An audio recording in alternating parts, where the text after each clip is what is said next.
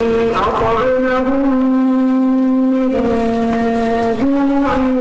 almost two decades, this man has been on the front line training Muslim militants for war. From Pakistan to Afghanistan to the Philippines to here in Indonesia, Malaysian national Nasir Abas has taught recruits to kill in the defence of Islam.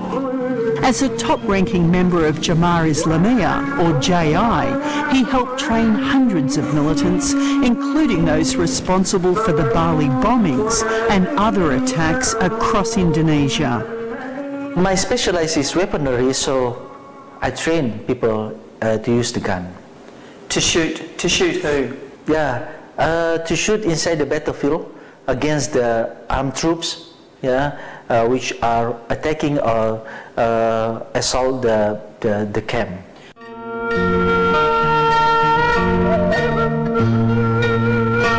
He designed this military-style academy in the Philippines jungle, where a Muslim insurgency has claimed tens of thousands of lives.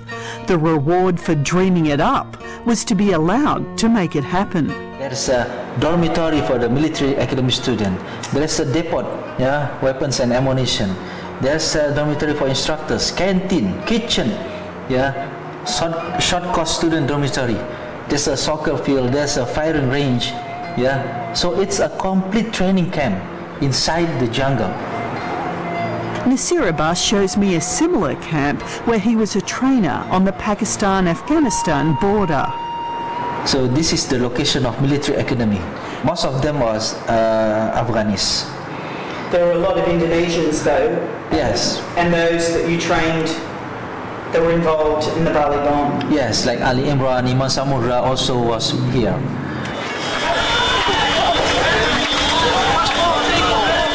It was the devastating Bali bomb attack in 2002 that brought Jamaah Islamiyah to the attention of the world. It was also what caused Nasir Abas to turn against the organisation to which he had devoted decades of his life.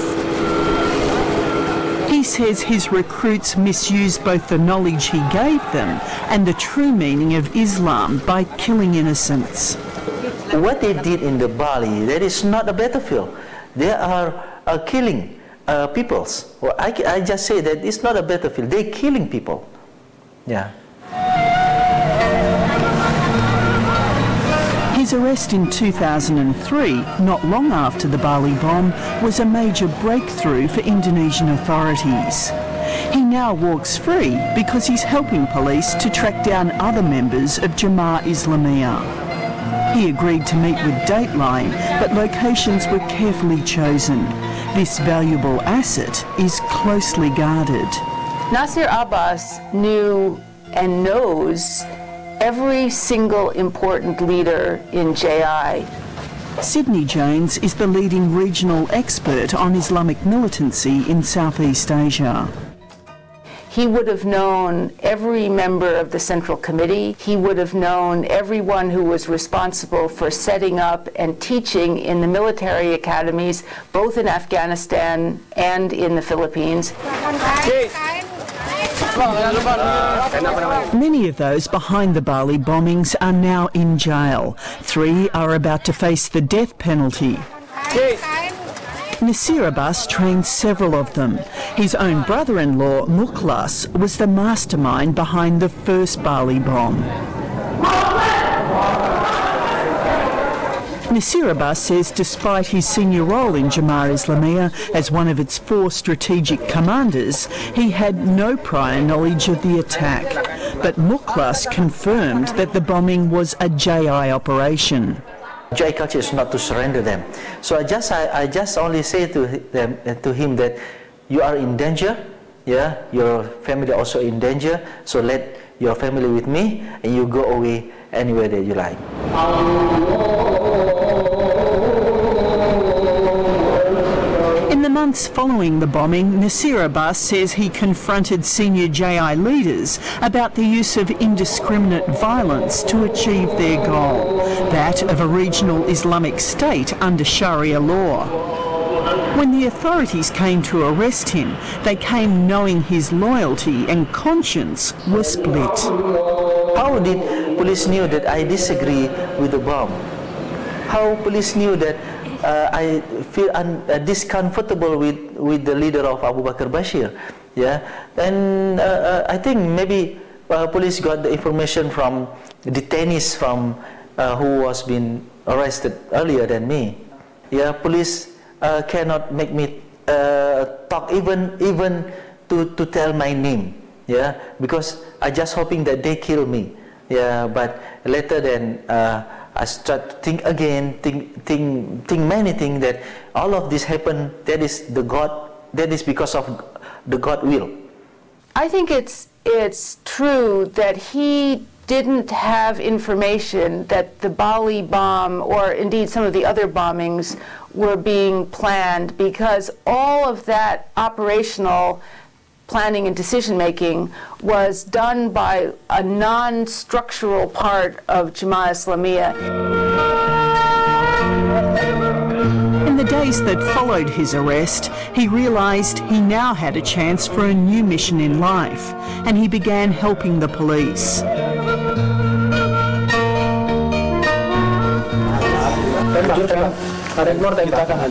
A month after the second Bali bombing, the government scored another success. This video of a raid on the house of one of JI's leaders was filmed by Indonesian police.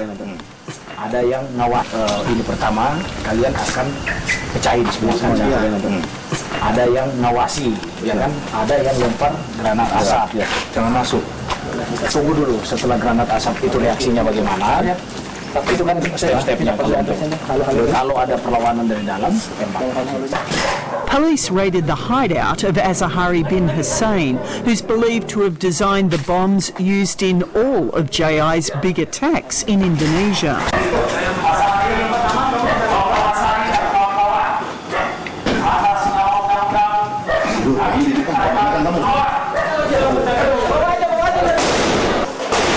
Azahari, who'd been trained in Afghanistan by Nasir Abas, died in a hail of bullets as he attempted to hold off his attackers.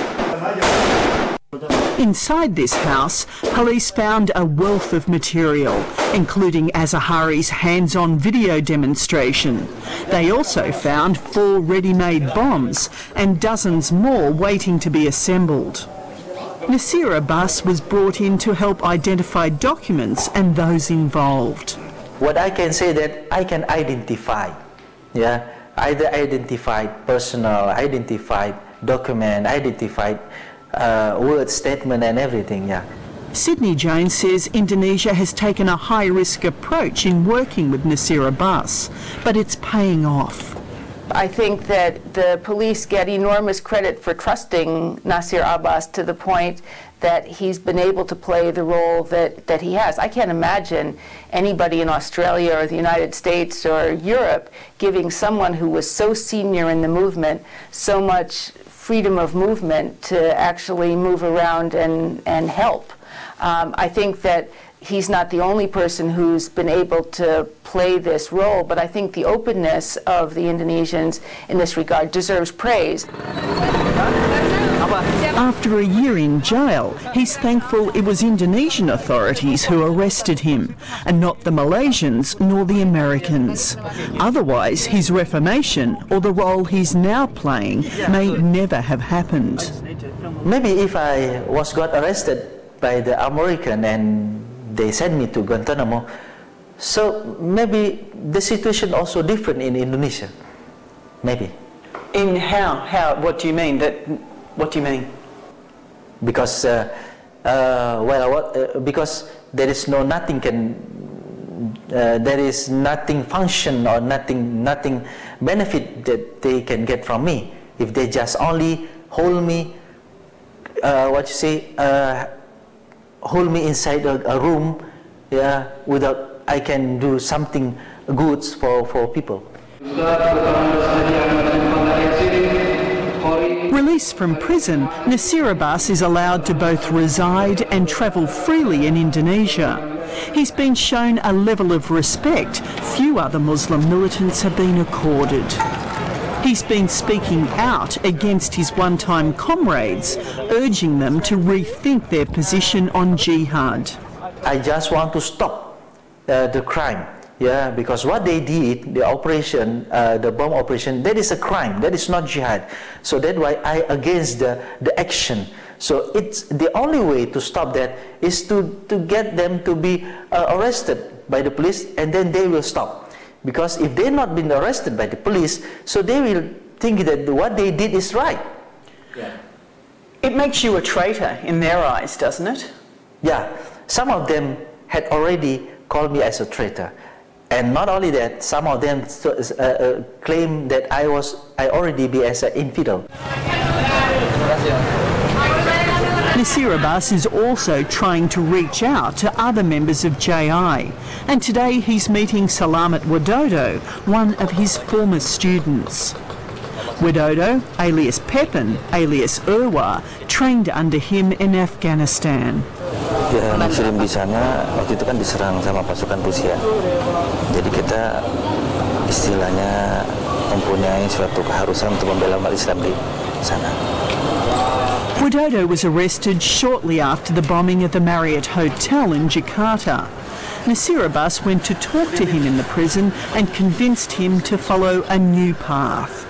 Kalau jihad yang sebenarnya itu kan harusnya kan di medan perang, gitu. Kali ini kan di medan yang damai, bagaimana dikatakan jihad kan dalam keadaan damai, gitu. Jadi kami diberikan nasihat supaya tidak untuk mengebom,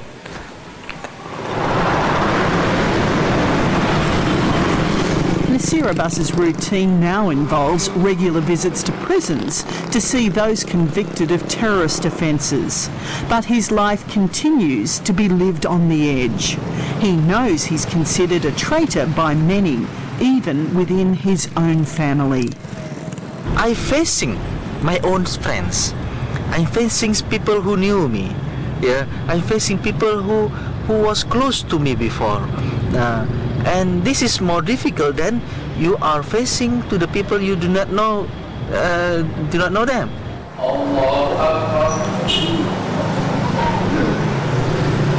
Nasir Abas would like to travel further afield to spread his message, but he can't travel outside Indonesia as the UN still lists him as a terrorist. For now, what he calls his new jihad is confined to Indonesia. Let us learn about Islam again. Yeah, it doesn't mean that our knowledge is enough. Yeah, to perform uh, uh, what is it Islam obligation, Muslim obligation.